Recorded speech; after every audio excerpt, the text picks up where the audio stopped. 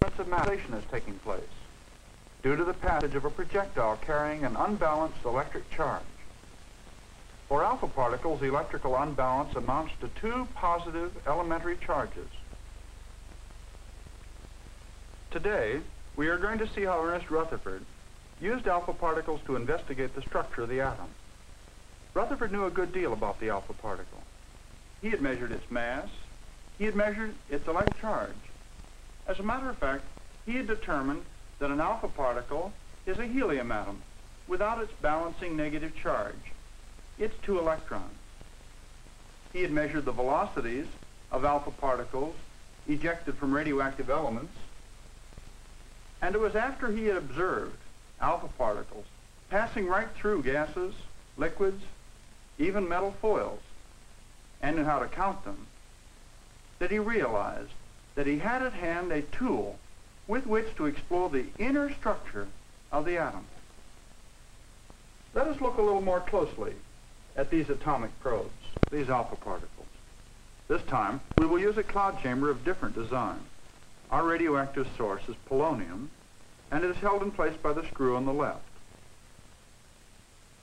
Beyond the alpha particle tracks, you can see a small wire scale that we have laid on the bottom of the chamber and against which we can judge how far the alpha particles travel.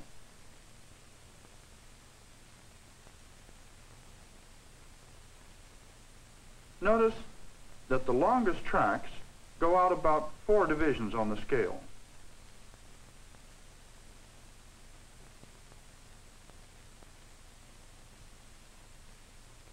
Now we can set up a barrier across the path of the alpha particles using a metal foil.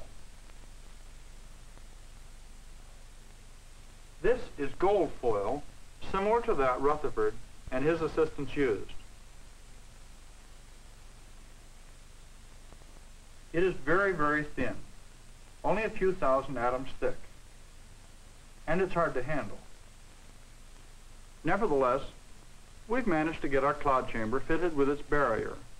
You see it here as a fuzzy light line across the face of the source. The alpha particles pass right through it to look at the tracks, you'd think the gold foil was not there at all. The particles go through it with ease. But there is a little difference showing up. Distance. Now the longest tracks go out only about three divisions on our scale. They don't seem to travel as far. The foil has reduced their energy, slowed them down a little, and they are consistently stopping short of their former range. There is another effect that the gold foil has on the alpha particles that we cannot see just by examining these wispy tracks by eye. The tracks are ever so slightly deflected, rarely by more than one degree. Rutherford suggested a study of this deflection to his colleague, Hans Geiger, who was already on the way to perfecting the now famous Geiger counter. This is how Geiger proceeded. At one end, of a glass tube, evacuated, and about a meter and a half in length. Heat radium source. Partway down the tube, he placed a slit to give him a narrow, well-defined beam of alpha particles. At the other end, he placed a scintillation screen. He used a microscope to see the flashes produced by the alpha particles as they hit the scintillator. When he used gold foil, he placed it over the slit. With this equipment, he recorded the distribution of alpha particles, with and without the gold foil, and prepared a graph of his findings. Here is the center of the beam of alpha particles, zero degrees. These figures represent the angles of deflection of the alpha particles in degrees and of course, the vertical coordinate represents the number counted. This is the beam as he saw it without any gold foil present.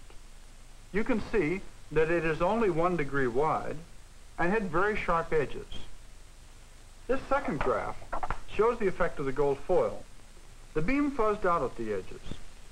About half the particles were deflected through one degree, a few to three degrees, but none beyond five. The equipment for our demonstration is arranged a little differently. Our polonium source is on a rod here in a cylindrical brass tube. Here's the aperture through which the alpha particles emerge. And we have made our aperture quite large so that a great number of particles will pass through the gold foil in a short period of time. Where Geiger's beam was about one degree wide, ours is, in fact, about 70 degrees wide. The gold foil is here, and our electronic detector is here, and is movable in an arc about the gold foil.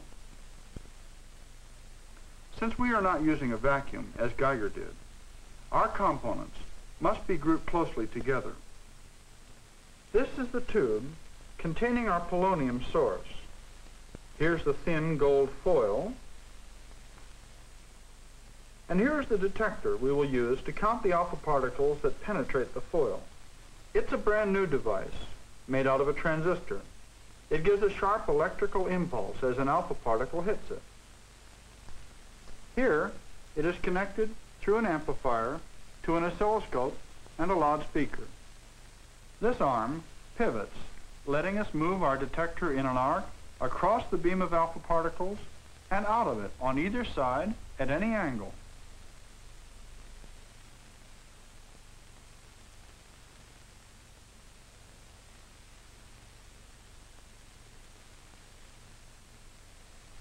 Our detector is light sensitive, so we'll place a shield over it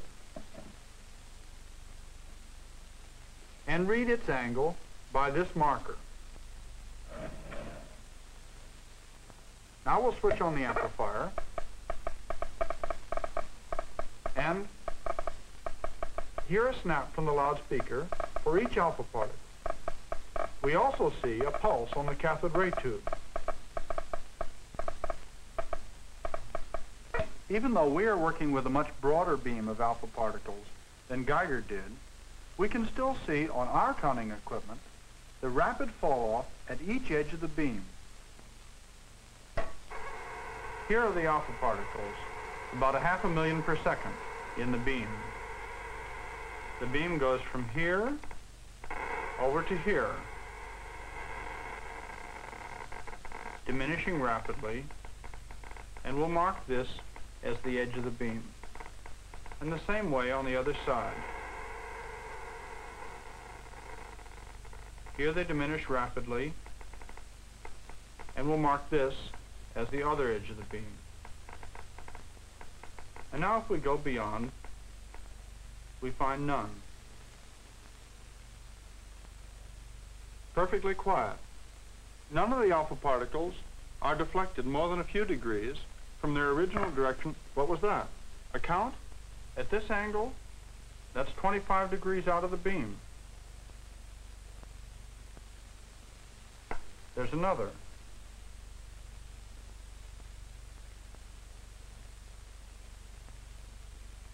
That was three. Is the gold foil really responsible for these counts? Let's see.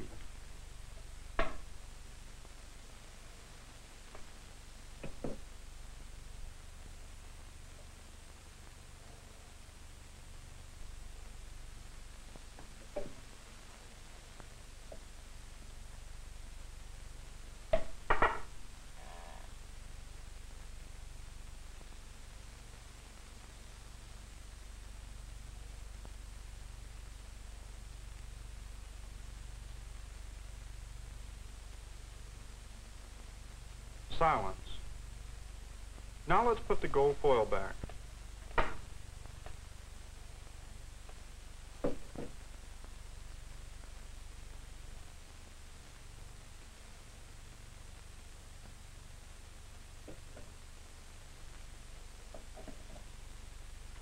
Now the gold foil is back in the beam of alpha particles, and we'll wait and see.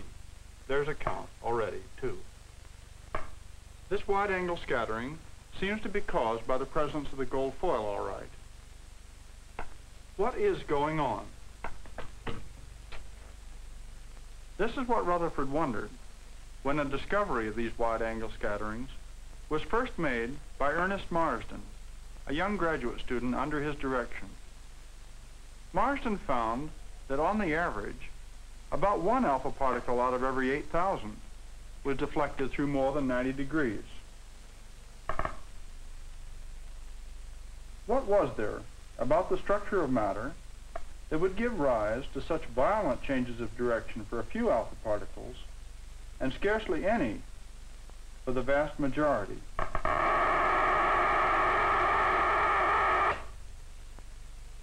Here is a model that will enable us to examine this problem more closely. These steel ball bearings will represent alpha particles. The ramp will launch them with uniform energy. This, of course, represents our gold foil. Now let's launch some.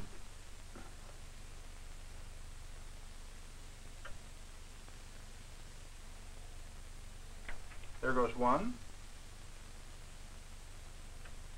These hot ball bearings leave tracks as they cross our specially prepared waxed paper. There's a fourth and a fifth, but this one was deflected through a large angle. Two more, straight. Another one, straight. Another straight. Another straight. And another one. We have set off 11 in all. Of the 11, 10 have followed the kind of course Geiger observed. But one has undergone a large deflection of the kind that Marsden observed. Let's run out about 200. Now we have our sensitized paper record about as full as we can make it. How did we make out? How many violent collisions? One, two, three, four, five, six. These points in our gold foil look suspicious. Let's see what's there.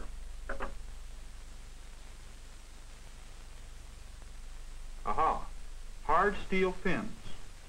No wonder the balls bounced. Our model gold foil is not really uniform in structure.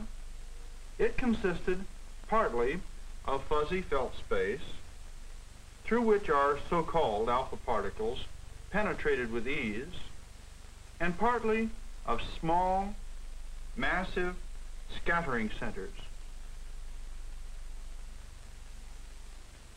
This sort of possibility is what Rutherford guessed at. He knew that atoms were full of electricity.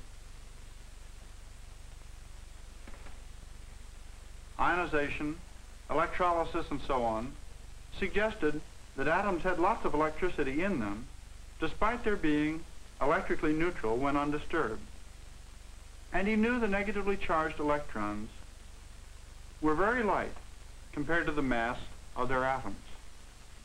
So he proposed that all of the mass of the atom, except the little part belonging to the electrons, might be concentrated, really concentrated, in a minute space at the center of the atom, leaving the rest of the atom empty, except for the light electrons. Then, if this massive core were to carry a large electrical charge, the electrostatic force between this charged core and the charged alpha particle might explain the wide deflections. Now, if this view of the atom were true, how could it be checked? Rutherford turned to the very deflections that had created the puzzle. He would make an accurate record of the deflection angles tell him what kind of collision had taken place. Can you tell from a series of collisions what force is responsible for the deflections? Do you remember the toy train cars? They made a collision at a distance because of the forces of repulsion between two magnets. For magnets not guided by tracks, a magnetic deflection looks like this.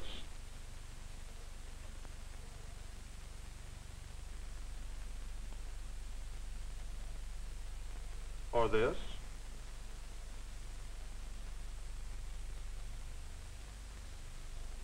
You can see the angle of incidence and the angle of emergence. Sometimes that's all you can see. But a study of the angles of deflection can often tell us a great deal about the nature of the force that produced the collision.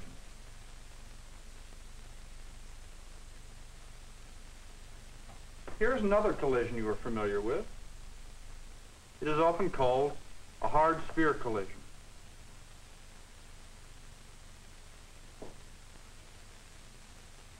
Nothing happens until the spheres appear to come into contact.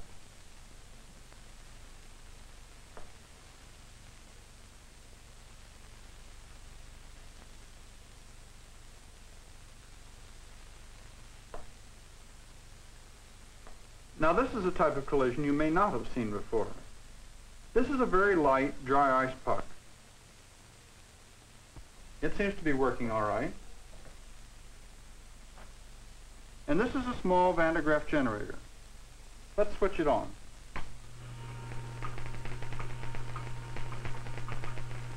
When it's charged up, it has a large positive charge. Now let's share the positive charge on the Van de Graaff sphere with the sphere on the dry ice puck. When the two spheres are charged, they have the same type of charge, and they repel each other with a Coulomb force, a force which varies inversely with respect to the square of the separation of the two spheres. Now let's see an electrostatic collision.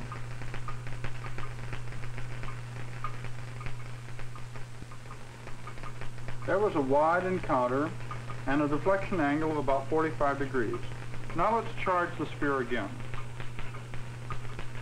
It gets hot to handle by hand. Let's try a more direct encounter. There it goes slowly in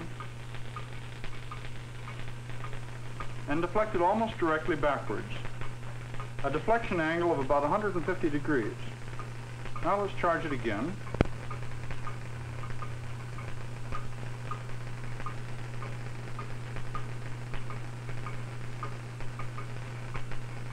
See another encounter. Each of these encounters shows a deflection angle that's connected with the encounter distance in a way characteristic of the electrostatic force. Let's charge it again.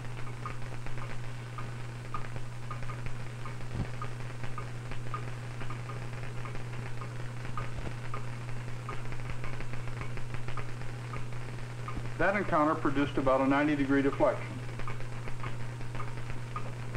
We have seen three types of collisions, magnetic, contact or hard sphere, and Coulomb or electrostatic, and the types of deflections each produced. As a matter of fact, any type of force at work in a collision produces its own characteristic deflections. Rutherford strongly suspected a Coulomb-type interaction, rather than magnetic or hard sphere or any other kind, so he set about calculating the deflection pattern that his positively charged minute atomic core would produce. Using Coulomb's law, he deduced the angles through which the alpha particles would be deflected as a function of how directly they were aimed at the center of the atom. Square at the center, an alpha particle would turn through 180 degrees and come right straight back. If it approached a little off-center, as this one does, it would be deflected through a large angle, say 125 degrees, and come out here. Another one, approaching a little further off-center, as this does, will go through a lesser angle and come out here. Another one approaching still further out. Like this, would come out here.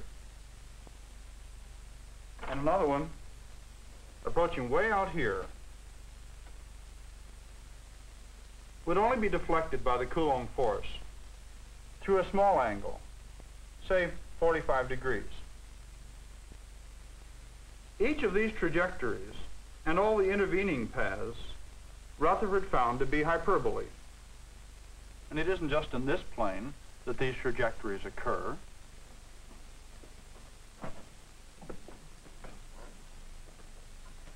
They occur all about the nucleus of the atom in this three-dimensional space.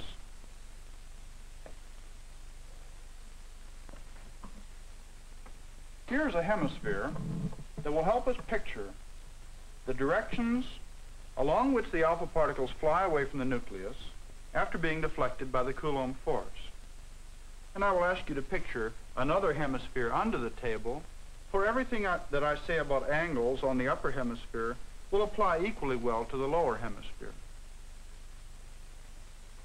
When Rutherford was satisfied that he understood how each individual alpha particle would behave under the influence, he turned his attention to a calculation of the fraction of the alpha particles that would emerge at each angle.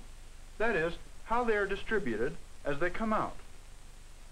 From this direction, we can imagine a uniformly distributed rain of alpha particles.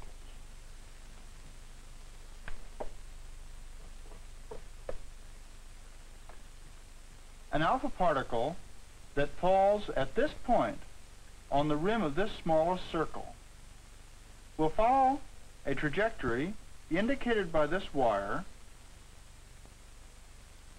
go in toward the center of the atom, and emerge along this direction.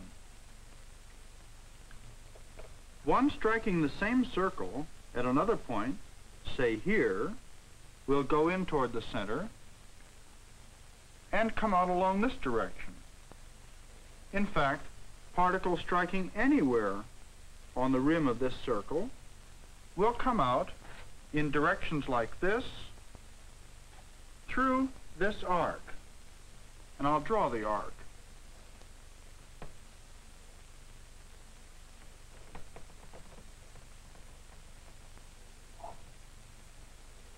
In a similar way, a particle entering the Coulomb field here, at this point, on the second circle, will go in along this trajectory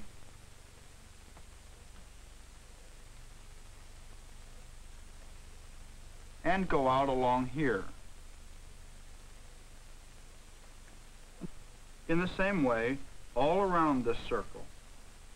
And I can draw an arc to represent the places where alpha particles with exactly those trajectories will emerge from the nucleus. And for this third circle, the particles will fly out at angles through this arc.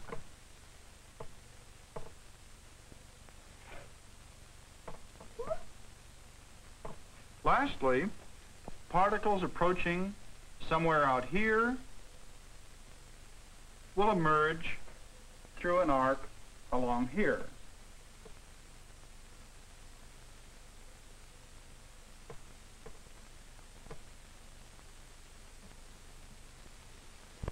Now we have the spherical space about the nucleus of our atom, marked out with certain limiting arcs which are determined by the trajectories we established before. In fact, each of these circles is directly related to each of these arcs.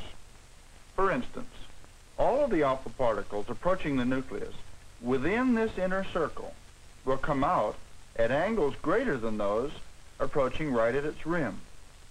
That is, they will come out through this cap zone here. Now you can see that alpha particles entering outside the inner circle, that is, through this annular ring, which I can mark, will come out through this zone. In other words, each pair of arcs marks out a zone of emergence that is directly related to each pair of circles in the approach area. Particles going in through this annular ring will come out through here, and particles going in through this largest annular ring, which I will mark, come out here. So now we're able to tell exactly where the alpha particles go. That is, at what angles they emerge. And in fact, we can also predict the quantities. For the quantities going in through each circular area are exactly the same quantities that come out through the corresponding zone on our sphere. Now let's think about the experiment. To take counts in an actual experiment of this type, we have to have a detector. And on this scale, the detector will be way out there. For you remember that this model just represents the minute core or nucleus of the atom and a little of the atomic space about the nucleus. For the purposes of argument, let's assume that all the particles that come out through this square on the spherical surface will hit our detector. And that's true not only at this position, but at any angle on the sphere. So our detector always sees a fixed fraction of the total spherical space about the atom. Can we arrange it so that our detector also sees a fixed fraction of the alpha particles coming through each zone? We can do it by choosing the areas of the zones to be equal. How do we do that? We do it by selecting the trajectories which divide up the zones. In our particular case, we wanted four zones, so we chose four trajectories that would make the zones have equal areas. This means that our detector always sees a fixed fraction of the alpha particles coming out through each zone. So if the number of alpha particles emerging from one zone differs from the number of particles emerging through another zone, the fractions striking our detector have the same ratio. So we have a uniform rain of alpha particles passing through concentric circles of various sizes, but emerging through spherical zones of equal size. Now look at this. All the particles which go in through this inner circle emerge through this cap zone, and those that go in through this outer ring emerge through this fourth zone, and you can readily see that the number of particles that will go in through this outer ring is much larger than the number of particles that will go in through this small inner circle. So the number of particles emerging through this fourth zone and going out to the detector will be much larger than the number of particles that goes out through this cap zone and into the detector when it is out here. So the key to our problem is the relative size of those input areas with a uniform rain of alpha particles, the number entering the inner circle, or any of the annular rings, is going to be directly proportional to the area of that circle or ring. So now we can write that the number, capital N, striking our detector is proportional to the input area A sub i. Now let's prepare a graph of the way we expect the data to appear. We will let the vertical axis represent the predicted number of counts. And the horizontal axis will represent angle and will extend from 180 degrees to 0 degrees we will let the number of particles that goes in through the inner circle and comes out through the cap zone into the detector be our unit number.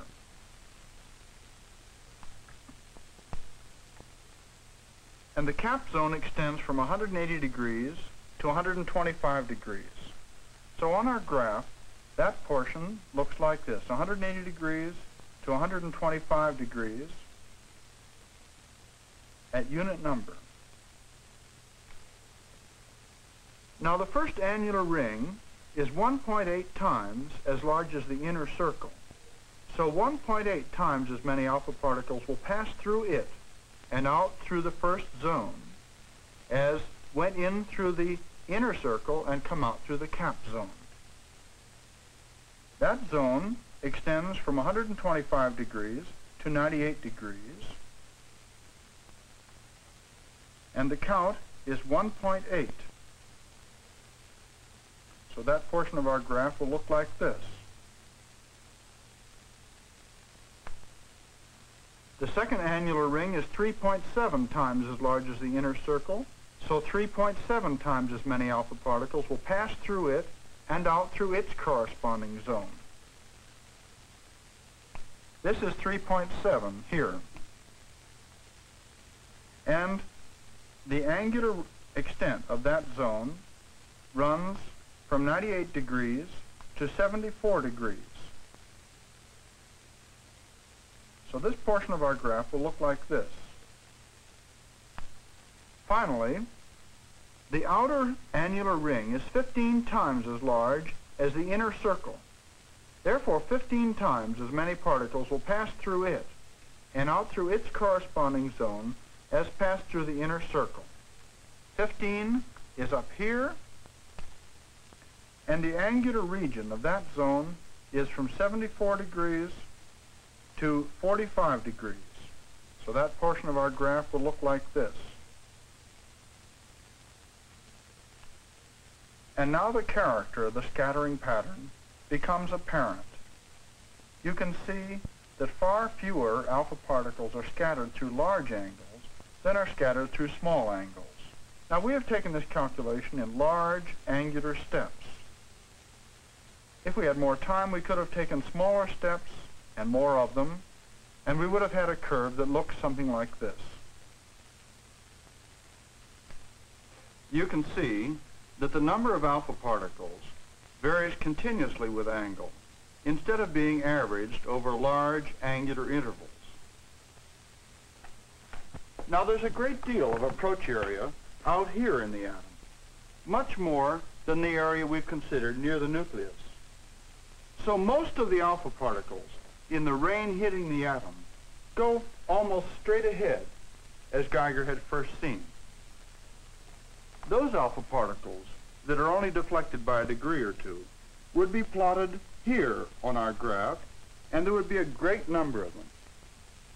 This part of the graph shows you the kind of scattering pattern Rutherford expected Geiger and Marsden to find at the larger angles. Here we have a carefully prepared graph based on his calculations. As before, the predicted count is plotted on the vertical axis, and the angle of the detector is plotted on the horizontal axis. Here, by contrast, we have a graph derived in a similar way for hard sphere scattering.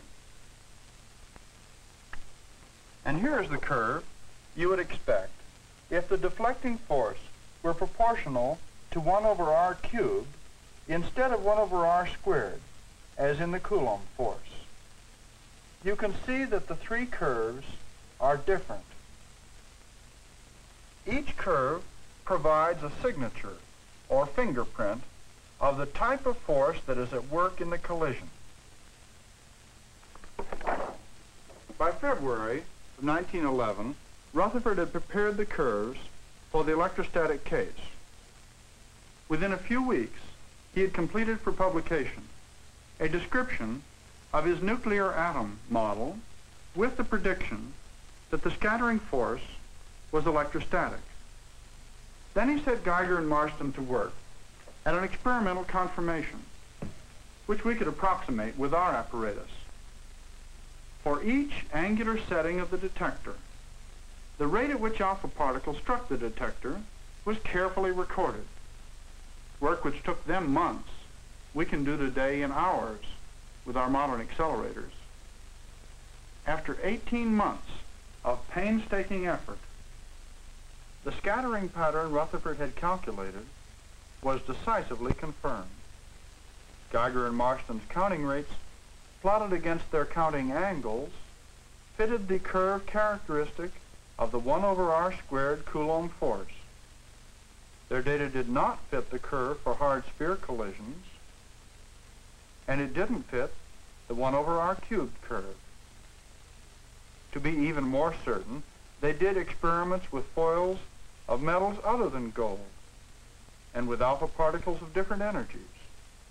And they all fitted with the prediction of a 1 over r squared Coulomb force field within the atom.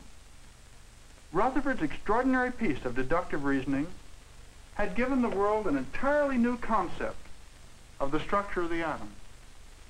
For the first time, it was seen as a sort of a minute solar system, with the nucleus as sun, carrying virtually all the mass of the entire system, with the bulk of the volume being empty space, permeated by intense electrical fields, and with the electrons distributed in this space, balancing by their negative charge the positive charge of the nucleus.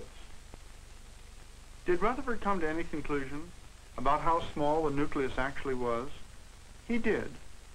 For even the alpha particles which approached the nucleus most directly scattered as he predicted they would under the influence of a pure Coulomb force. And his calculations showed that the distance of nearest approach was less than 10 to the minus 11 centimeters.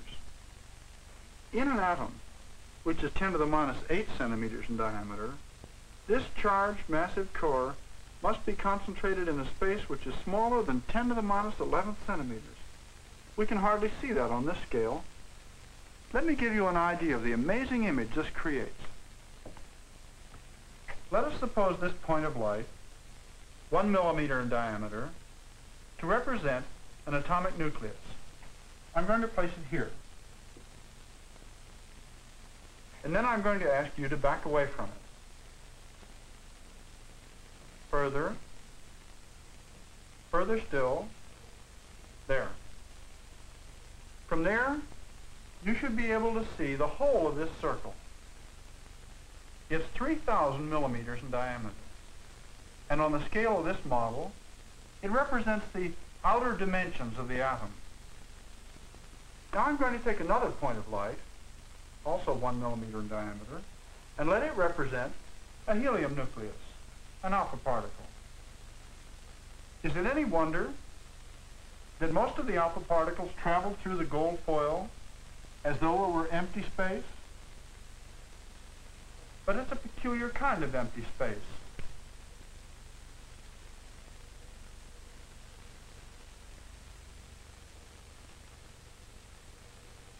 Its outer dimension is as unassailable as the Greeks said it was. With all this space, why doesn't matter collapse? Why don't the charged particles of the other atoms move into this space? Another 20 years passed before that question was answered. That answer, and everything else we know about the atom today, are firmly built on Rutherford's triumph with its brilliant analysis of the force, mass, space relationship of the atom.